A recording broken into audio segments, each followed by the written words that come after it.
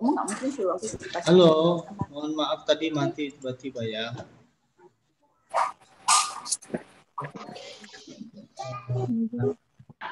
Kelas satu.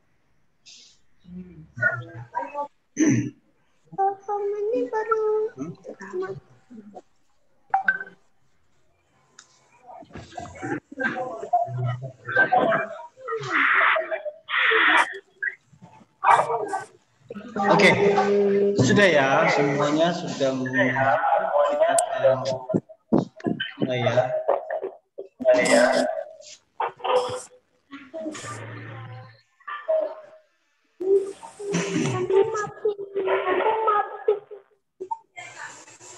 Oke. Oke, sebelumnya kita akan berdoa. Ya. Siapa yang pimpin kita berdoa?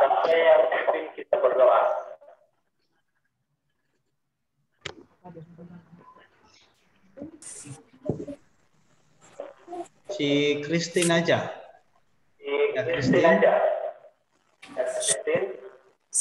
Nah, pimpin kita berdoa ya. Ayo.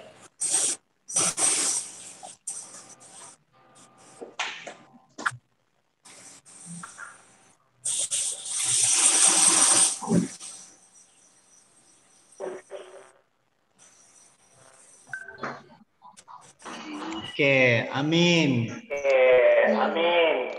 Nah, eh, perhatikan, nanti saya akan matikan suara kalian ya. Saya matikan sa- saya silent supaya tidak ada keributan. Oke.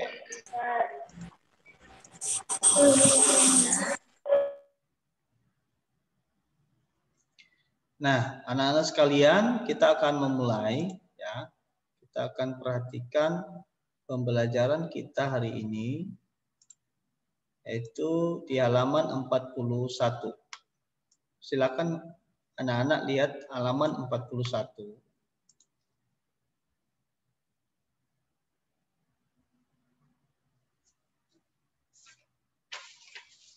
Halaman 41.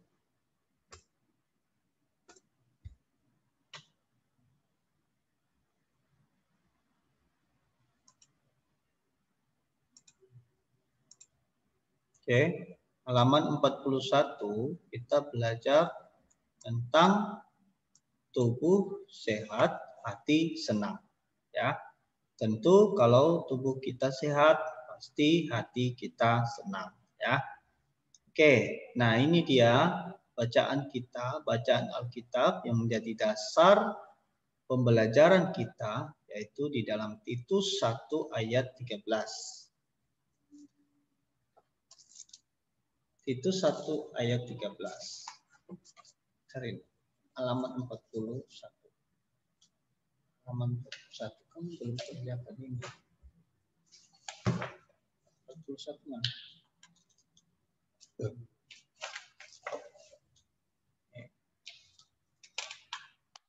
Ini. Oke. Nah, kemudian Ibrani 4 ayat 2 Mazmur 25 ayat 21, 1 Korintus 9 ayat 24 sampai 27. Nah, ini ya yang kita baca. Oke. Sekarang kita masuk ke materi. Perhatikan anak-anak.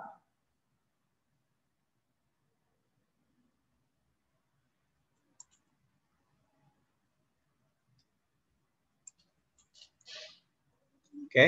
Nah,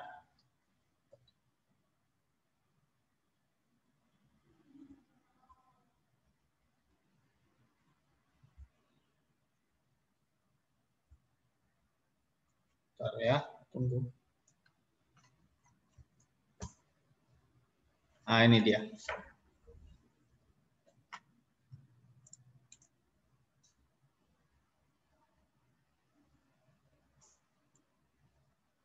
Oke. Nah, setelah kita lihat temanya ya, tema besarnya adalah tubuh sehat, hati senang ya. Nah, bagaimana perasaan kita kalau kita memiliki tubuh yang sehat? Ya.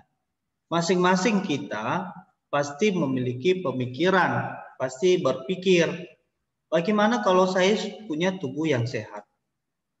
Nah, Tuhan telah memberi kita tubuh dalam keadaan baik dan sehat.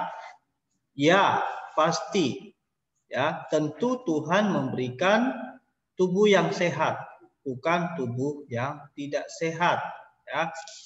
Tubuh memberi eh, Tuhan memberikan tubuh yang sehat supaya apa? Supaya dapat kita memuliakan Tuhan, kita dapat memuji-muji nama Tuhan ya melalui tubuh yang sehat itu. Oke. Nah, kita harus pandai menjaga dan merawat tubuh. Harus itu ya. Kemudian dalam tubuh yang sehat terdapat jiwa yang sehat. Sudah pasti kalau kita sudah menjaga tubuh, merawat tubuh kita, ya, maka di dalam tubuh kita ini terdapat jiwa yang sehat. Ya. Nah, menjaga tubuh mulai sejak kecil. Ya. Menjaga tubuh itu sangat penting Ya, mengapa tidak dari besar saja kita menjaga tubuh? Kenapa tidak kalau kita sudah tua saja baru kita menjaga tubuh? Nah, itu kan satu pertanyaan buat anak-anak sekalian.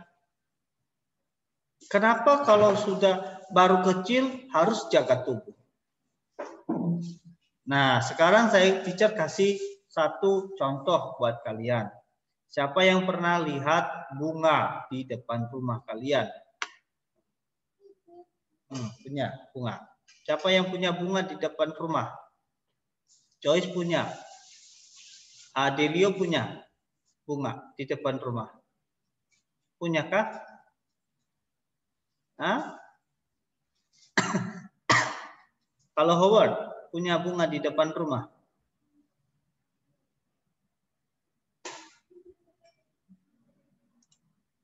Arfan punya bunga di depan rumah? Hah? Punya? Ah, atau pohon kan? Adenta.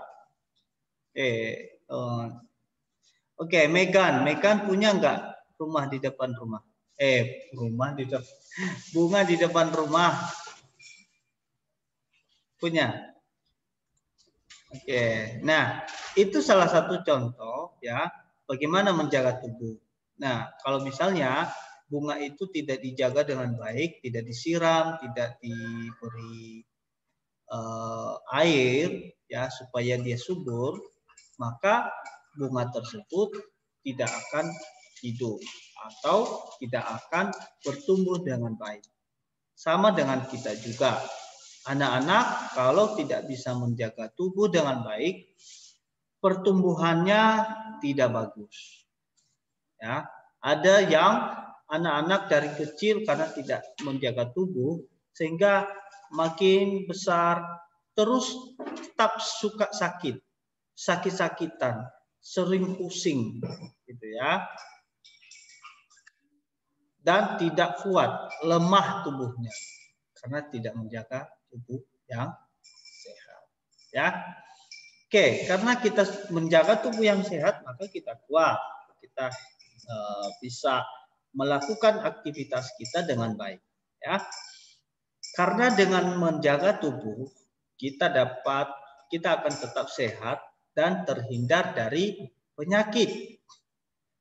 Sudah pasti itu. Kalau kita menjaga tubuh kita dari apa, menjaga merawat tubuh kita pasti akan terhindar dari penyakit.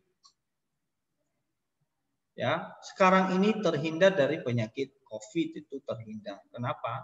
Karena kita sering cuci tangan. Ya. Lalu kemudian makan makanan yang sehat, ya. Oke. Kita juga dalam menjaga tubuh ya, cara menjaga tubuh yang sehat itu kita tunjukkan pada saat setelah bangun tidur kita harus berdoa. Kenapa harus berdoa? Ya kan? Kenapa harus berdoa? Karena kesehatan dan kekuatan berasal dari Tuhan Yesus. Ya. Sudah pasti berasal dari Tuhan. Tidak mungkin dari hal yang lain karena tidak mungkin dari dunia ini. Ya, di bumi ini adalah ciptaan Tuhan. Kalau kita berasal dari ciptaan Tuhan juga, ya, misalnya kita di eh, ciptaan Tuhan yang membuat kita, ah, tidak mungkin. Ya. Jadi jelas bahwa Tuhan yang memberikan, menciptakan kita, memberikan kesehatan, memberikan kekuatan. Itu sebabnya kenapa kita berdoa, berdoa. Kenapa? Karena Tuhan memberikan kita kekuatan. Oleh sebab itu, berdoa itu adalah suatu ucapan syukur, ucapan syukur kepada Tuhan. Ya, karena Dia sudah memberikan kekuatan. Ya, oke. Kita meyakini dan mempercayai bahwa suatu yang sesuatu yang kita minta memberi kita kesempatan untuk hidup lebih sehat. Ya, kita memohon kesehatan kepada Tuhan dilandasi iman percaya. Ya, seperti di dalam Titus 1 ayat 13. Ya, karena itu tegur, tegurlah mereka dengan tegas supaya mereka menjadi sehat dalam iman. Ya, ini adalah sebuah teguran kepada kita semua, bahkan kepada jemaat pada saat itu ya di dalam firman-Nya ya ini harus memiliki iman yang sehat supaya tidak sembarangan ya dalam hidup. Oke, bagaimana cara kita merawat tubuh pemberian Tuhan? Ya, tentu ada banyak cara. Ya, salah satunya dengan olahraga lari. Lari adalah salah satu cara menjaga kesehatan tubuh. Orang yang memiliki tubuh sehat dapat beribadah dengan baik. Ya. Semua orang dapat melakukan kegiatan dengan baik. Kata kuncinya adalah tubuh yang sehat, tubuh kuat, makan sehat, menjaga kesehatan. Ya. Semua orang dapat menikmati makanan dengan enak. Oke, nah di sini ya menjaga tubuh, merawat tubuh supaya sehat, ya, itu adalah salah satu tanggung jawab kita. Anak. Salah satu tanggung jawab kalian semua. Ya, kalau kalian tidak menjaga tubuh yang sehat, sama seperti bunga yang tadi, yang semakin hari semakin tidak kuat. Ibarat pohon yang di, sudah ditanam tetapi tidak begitu dirawat, maka pohon itu pun tidak begitu gemuk dia. Malahan pohon yang ditanam itu semakin hari semakin kurang terlihat bagus. Tidak subur, tidak memberikan buah. Nah, ini ini salah satu contoh bagaimana kita menjaga tubuh kita. Ya, salah satu cara menjaga tubuh lagi ketika setelah makan sebelum makan Ya. Setelah makan. Kalau sebelum makan, setelah makan, kita harus cuci kaki. Cuci, cuci tangan atau cuci kaki? Siapa bilang cuci kaki? Siapa bilang cuci tangan? Angkat tangan. Ya kan? Cuci tangan. Ya. Ya dong. Cuci tangan sebelum makan harus cuci tangan. Sesudah makan bagaimana? Tidak cuci tangan, langsung tidur misalnya. Kalau misalnya langsung tidur setelah makan, kan masih ada nih di tangan kita sisa-sisa makanan. Langsung tidur nih. Eh ketika kita tidur, eh tiba-tiba tangan kita langsung ke muka kita misalnya kan langsung ke mukanya si Aldrich misalnya. Tangannya. Padahal di tangannya ada sisa-sisa makanan nih. ada sisa nasi nih. Aldrik jangan ditutup dong kameranya. Teacher nggak lihat kamu. Oke. Nah, ketika tangan kita tadi sudah kena sisa-sisa makanan, ya, terus tangannya mengenai muka kita, maka apa yang terjadi? Besok paginya mama papa lihat kamu. Loh, Kok si Samuel ada sisa-sisa makanan di mukanya? Kira-kira begitu kan? Kok si Arfan ada sisa-sisa makanan di mukanya? Daging daging eh, apa sisa-sisa daging lagi, daging ayam. Ayo, kok Clay masih ada di hidungnya ada sisa nasi. Gitu kan? Kok si Adelio masih ada sisa-sisa makanan di matanya. Oh, Nah, itu keterbukti terbukti kalau kita tidak cuci tangan. Yang terjadi adalah tangan kita kotor, ya. Apa yang kita pegang pasti kotor. Nah, itu salah satu kan untuk menjaga tubuh yang sehat. Oke. Nah, karena Tuhan yang memberikan tubuh yang sehat, maka sudah pasti itu adalah tanggung jawab kita untuk menjaganya. Ya, kalau kita tidak jaga, maka tanggung jawab yang Tuhan berikan kepada kita, kita tidak lakukan. Jelas ya? Oke. Nah, dari tadi kita belajar tentang ini ya, tubuh yang sehat. Ya, yang pertama tadi kita belajar bahwa tubuh yang sehat itu dimulai dari kecil. Kenapa tidak dimulai dari besar? Karena dari kecil kita harus menjaga tubuh kita. Supaya apa? Supaya dari kecil itu terbiasa tubuh kita sehat. Sehingga tidak sering sakit ya, tidak sering pusing.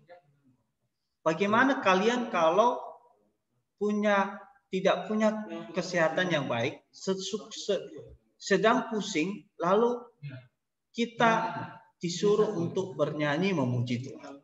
Coba kalian bayangkan. Coba misalnya si Joyce bayangkan. Bagaimana ketika sedang pusing disuruh bernyanyi? Gimana? Coba bayangkan. Pasti bernyanyi begini, aduh pusing. Gitu kan? Mungkin bisa lirik lagunya bisa bisa katakan juga pusing. Kalau kalian lagi demam bisa memuji Tuhan dengan baik. Bisa nggak memuji Tuhan dengan baik? Kalau saya sedang demam, uh, uh, ya, bisa memuji, memuji Tuhan. Kalau sedang demam. Kristin bisa memuji Tuhan kalau sedang sakit. Bisa, bisa, tapi tidak sebaik yang saat kita se. Ya, nah sekarang, sekarang saya akan bukakan suaranya. Nah, ya. Sekarang saya mau anak-anak mau bertanya ke teacher. Yang bertanya nanti teacher kasih poinnya.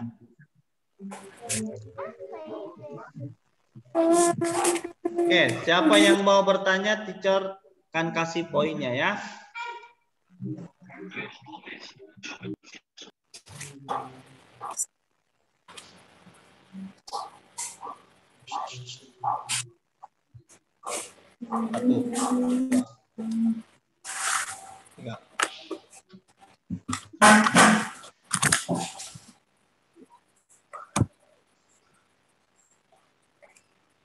Oke. Uh, Megan, kasih suaranya. Ayo Megan, kasih suaranya. Nanti giliran ya. Nanti satu-satu mau bertanya ke teacher. Megan mau mau, mau tanya apa sama teacher? Ayo, teacher tulis namanya supaya teacher kasih poinnya. Oke. Megan mau tanya apa?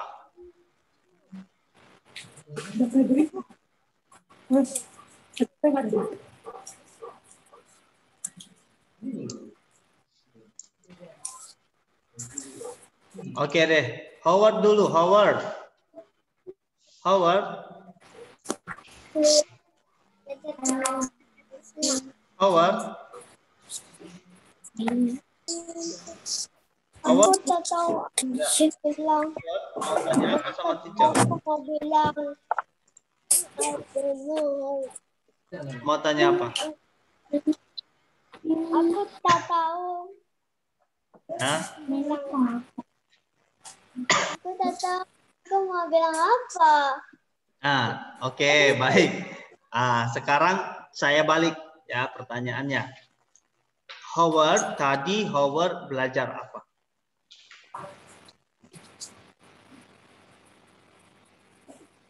Belajar tentang apa?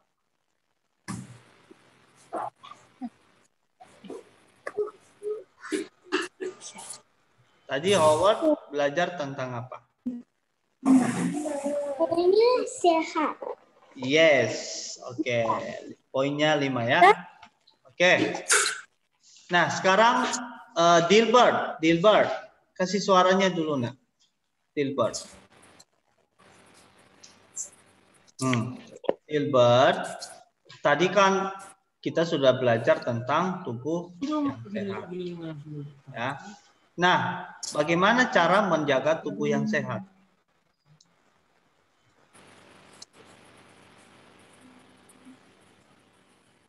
Cuci tangan. Ya, eh, si Dilbert dulu, Dilbert dulu.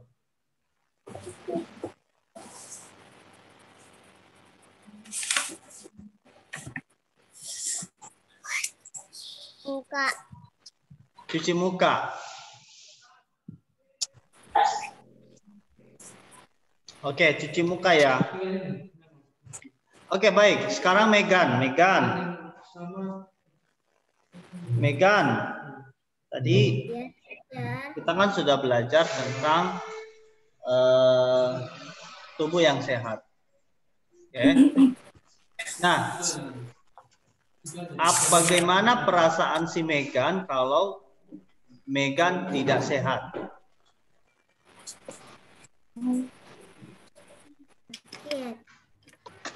Ya, Sakit. sakit ya. Oke. Nah, sekarang Joyce. Kasih suaranya dulu,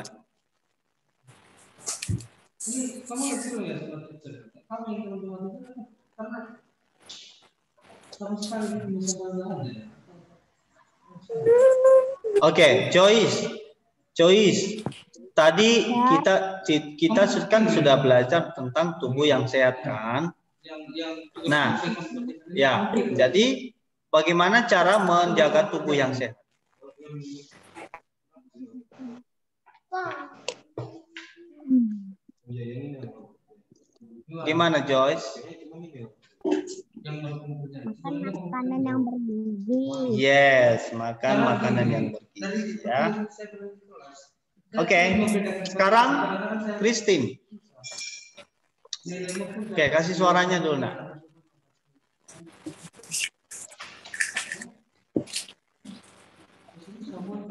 Ah, kasih suaranya. Ya, Christine. Christine. Eh, kenapa kita harus berdoa kepada Tuhan?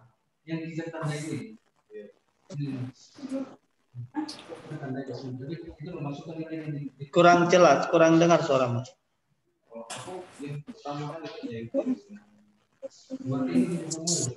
Karena kuat. Gimana nak?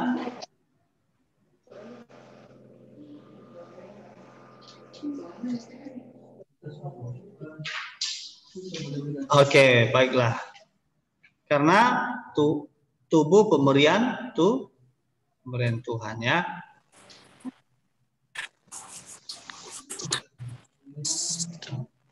Baik. Sekarang Arfan, Arfan. Arfan, kasih dulu suaranya.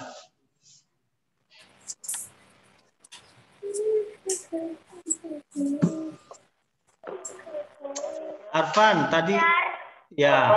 tadi Bagaimana bagaimana cara kita menjaga tubuh? kita menjaga tubuh? Yang bersih, Terus, makan yang sehat, terus. cuci tangan, Oke, bagus. Oke. Iya, bagus. Oke. olahraga, Baik. Eh, sekarang Adelio. Baik. Nah, sekarang Adelio. Adelio, eh, bagaimana perasaan kamu kalau kamu sakit? Bagaimana perasaan kamu kalau kamu sakit?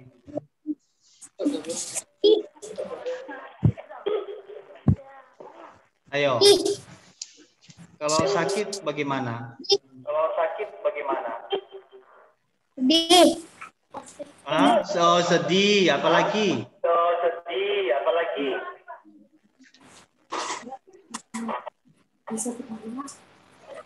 habis tawa, Tidak apa? Tidak bisa ketawa. Tidak bisa ketawa. Oke lah. Oke lah. Oke. Nah, sekarang eh Fred- Fre- Frederick, Frederick. Frederick, Frederick. Frederick. kamu belum selesai ujiannya, non? Selesai. Kenapa lama kali tidur? Frederick gimana Frederick? Frederick gimana, Frederick?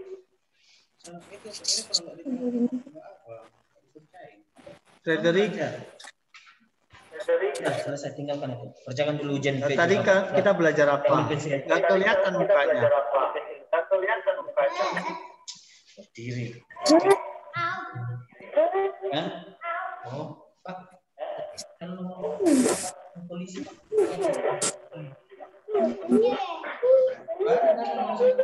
Oke. Polisi aja. Eh, sekarang Samuel, Samuel. Nah, sekarang Samuel, Samuel. ya Sam- ya, Samuel kita belajar apa tadi? Samuel, kita belajar apa tadi? Hah?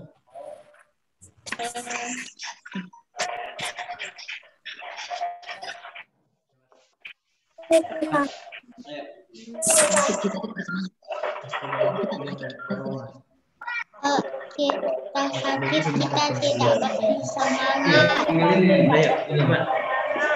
Iya, bagus. Bagus ya. Oke, Aden sekarang yang ada tulisan nama Adenta.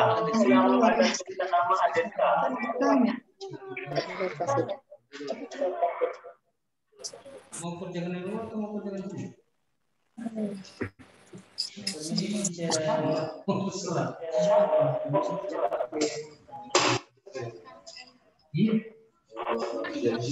Oke. Rumah. Baik, sekarang eh. Ad- Aldri.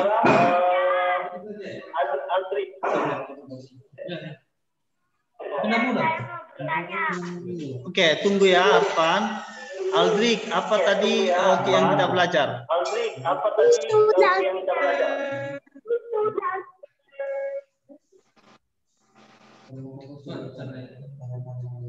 Menjaga tubuh, Oke, bagus ya.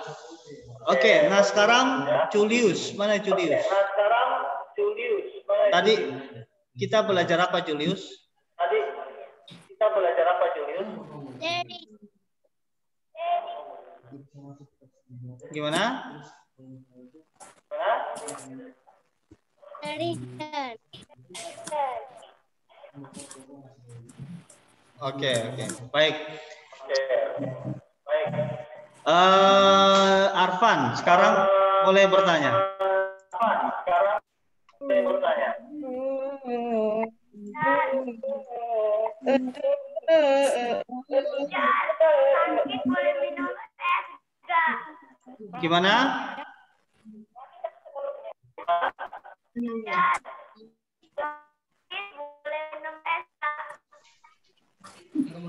Kurang jelas, kurang jelas. Kurang jelas, kurang jelas. Teacher, kalau kalau sakit boleh minum es gak? Oh, tidak boleh. Kalau misalnya ya, kalau kamu demam, Misalnya ya, lalu kamu minum es, paham? demamnya itu masuk ke dalam. Jadi nanti kamu nambah sakit kamu. Jadi nanti kamu tambah sakit kamu. Hmm, gitu ya. Nggak boleh kalau sedang sakit. Apalagi nak? Makasih Ada lagi? teacher. Iya. Oke. Lagi nak, ada lagi. Ya, oke. Siapa lagi yang mau bertanya? Lagi yang mau bertanya.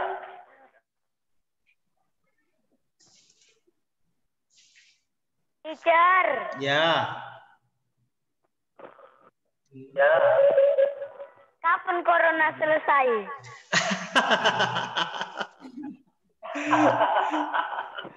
Kami mau sekolah. Oh